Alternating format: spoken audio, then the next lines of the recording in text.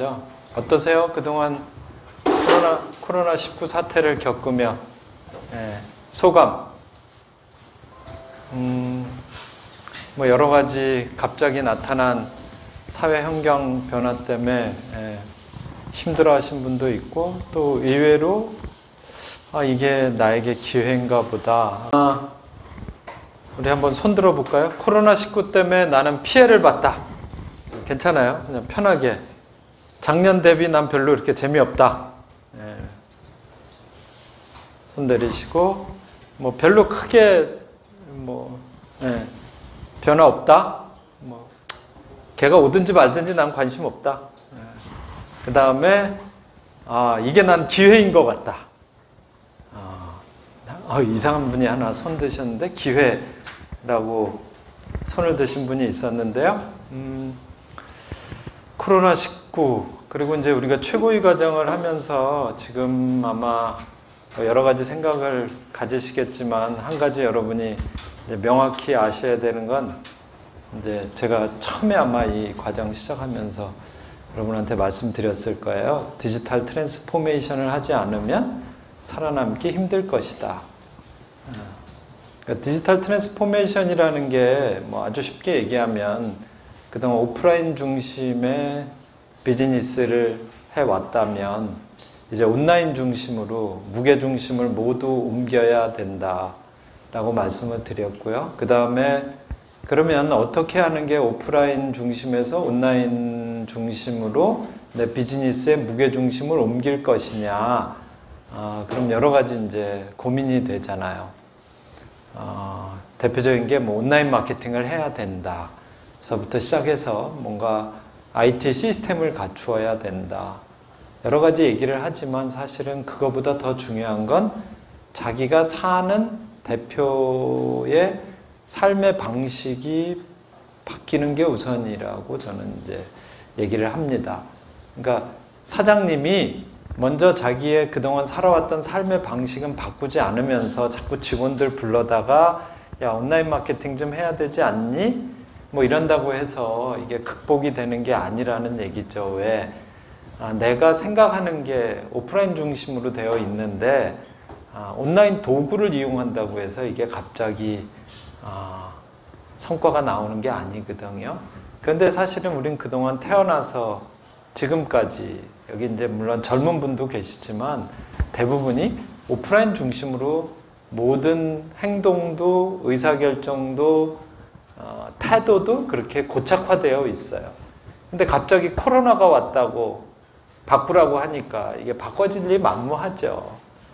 그러니까 이제 무왕장 하는 거예요. 지금은 사실은 그래봤자 이제 1, 2년이고요. 지금은 국가에서도 또 어려우니까 막 돈을 풀고 또는 뭔가 막 지원을 해주면서 그럭저럭 버텨내고는 있습니다. 근데 문제는 이게 언제까지 지원을 해줄 것이냐이죠. 소비자들이 언제까지 여러분들이 좀, 아, 우리 사업자들 어려우니까 내가 가서 좀 도와줘야지. 이런 마음을 언제까지 갖게 될까요? 어, 제가 볼 때 이제 올해 안에 그런 것도 모두 끝날 겁니다. 왜냐하면 무한정 퍼줄 방법이 없어요. 그 돈이 어디서 나오겠습니까? 국민이 세금을 내줘야 되는데 지금 있는 세금 계속 올리고 있죠. 그래서 그걸로 막 지원을 해주고 있습니다. 근데 나중엔 그게 어떻게 될까요? 예, 더 걷어들일 세금도 없고요. 또 설사 걷어들인다고 해도 뿌리는데도 한계가 있지 않을까. 그럼 그때는 이제 우리 어떻게 할까요?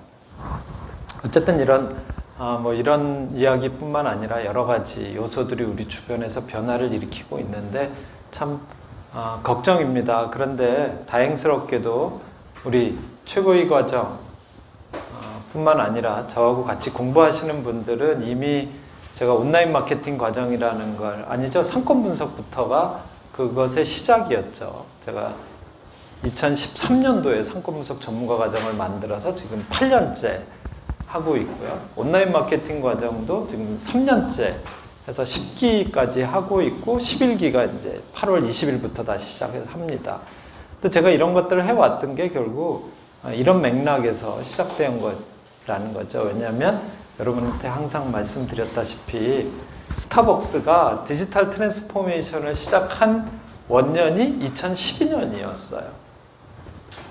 그러니까 그들은 이미 약 8년 전에 이 시기가 올 것을 예측한 건 아니겠지만 시대 흐름상 이걸 하지 않으면 우리는 모두 죽는다. 그리고 스타벅스도 죽을 것이다. 그러니까 여러분 어떻습니까 요즘 우리나라에서 제일 잘 나가는 외식 기업이 어디예요? 스타벅스잖아요. 그렇죠? 어, 최근에 양평에다가 DTR이라는 걸 만들었습니다. 스타벅스 DTR. DTR이 뭔지 혹시 알아요? 모르죠? 아, DT는 알죠? DT는 뭐야? 음, 드라이버 스루? 음.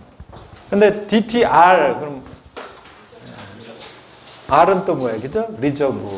그러니까 원래는 스타벅스가 있었고, 스타벅스 DT점이 있었고, 스타벅스 Reserve가 있었잖아요.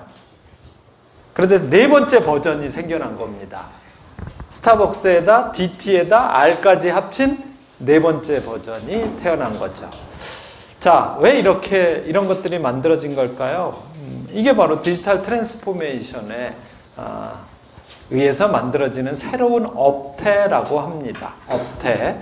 자, 이제 우리도 이미 우리는 좀 늦었지만 지금이라도 정신을 차리고 외식 업체들도 디지털 transformation을 해야 되는 어, 이제는 피할 수 없는 절대절명의 시기에 왔고요. 아까 우리 어떤 분이 대표님 한 분께서 음, 우리 배준성 대표님이죠. 뭐 하시죠? 레저, 네, 레저 스포츠. 여름에 뭐 하죠?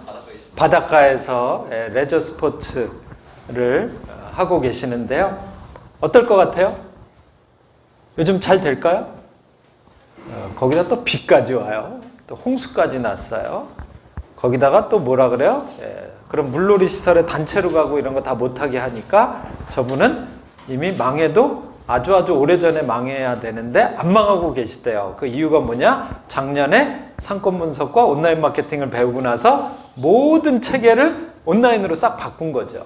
온라인 마케팅이란 개념을 갖고 소비자를 모으고 소비자를 경험을 하게 하고 만족시키는 체계를 가진 사람이 아무도 없는데 유일하게 혼자. 그러니까 옆에 있는 모든 레저 스포츠 하는 물가에서 다 폭망하고 있는데 혼자만 예, 버티고 있다는 거죠. 왜? 고객의 90%가 온라인으로 검색해서 예약을 하고 오신다고 합니다.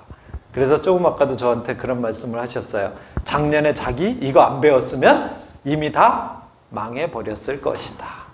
자, 그러니까 어쩌면 이거는 우리가 이렇게 운이 좋아서 서로 만난 거라고 생각할 수도 있지만, 어, 저분의 의식이, 인식이 그런 걸 배워야 된다라고. 왜? 스포츠 하는 분들이 어, 그런 걸 해야 되겠다고 생각하는 분들이 별로 없거든요. 왜? 스포츠는 가장 오프라인 중심적인 어, 비즈니스 아닙니까? 하지만 이와 같은 아무리 오프라인 중심적인 비즈니스라고 하더라도 온라인이 접목되지 않으면 이제 끝난다는 얘기죠. 자, 어쨌든 이제 아, 우리 오랜만에 만났으니까 이 아, 코로나 19 그 다음을 뭐라 그러죠? 포스트 코로나 19라고 얘기하죠. 이제 코로나 19는 뭐 우리가 죽든 아니면 코로나가 죽든 아니면 뭐 죽지는 않는다고 하더라고요. 좀 잠잠해져서 그냥 뭐 그냥 독감처럼 생각하면서 살든 이제 이미 소비자들은요 인식을 했습니다. 아 앞으로 내가 살아가는 방식을 바꾸지 않으면 내가 어느 순간에 한 방에 갈 수도 있겠구나. 그래서 아마 모든 사람이 다 마스크를 끼고 무조건 평생 살아가야 될지도 모르겠습니다. 그리고 모든 사람이 이제 2m 이상은 떨어져 앉아야 되고. 자, 이와 같이 사람들의 모든 라이프 스타일이 이제 바뀌어 간다는 걸 여러분이 빨리 인지하고 우리도 거기에 대응하는 삶을 만들어 가야 되는데